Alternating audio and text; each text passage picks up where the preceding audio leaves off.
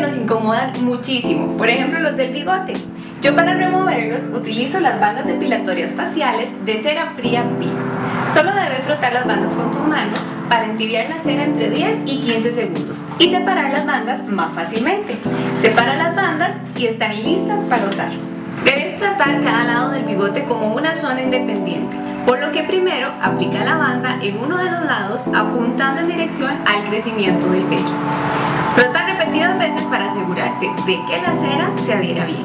Mantén la piel estirada con una de tus manos para evitar cualquier molestia. Retira la banda hacia atrás rápidamente y con un solo movimiento en contra del sentido del crecimiento de los vellos, manteniendo la banda tan cerca de la piel como sea posible. Vuelve a utilizar cada banda hasta que pierda su adherencia. Después de la depilación, remueve cualquier resto de cera con las toallitas hidratantes post-depilatorias BIP.